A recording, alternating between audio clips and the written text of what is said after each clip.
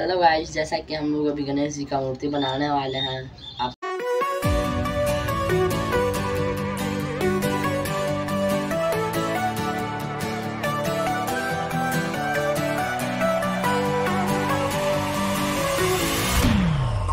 shit.